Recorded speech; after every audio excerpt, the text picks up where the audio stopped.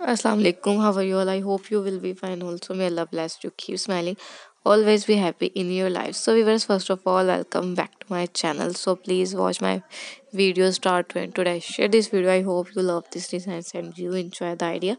So, viewers uh, though we may be in the digital ages no technology can compare to the feeling of a good book in your hand.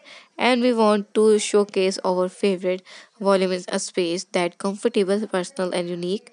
While public and uh, university libraries are often rest of, of full of splendor.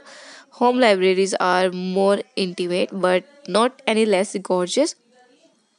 A room can be formal and elegant or colorful and cozy, and stylish focal points like a fireplace, desk, or snug seating area keep things just as interesting uh, as a volume and the shelf.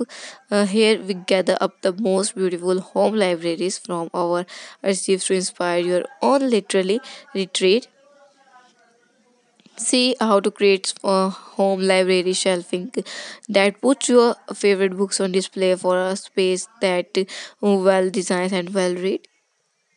So,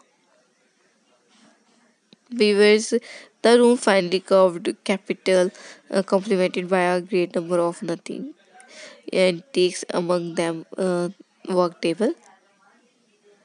Uh, so, viewers,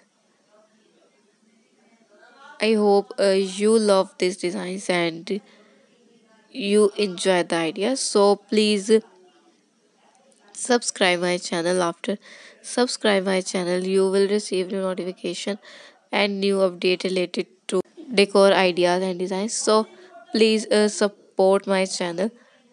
Be connected with me. Thanks for watching my video and supporting me. Please viewers like my video and share our family members. I will meet you in my next video inshallah. Take care. Allah hafiz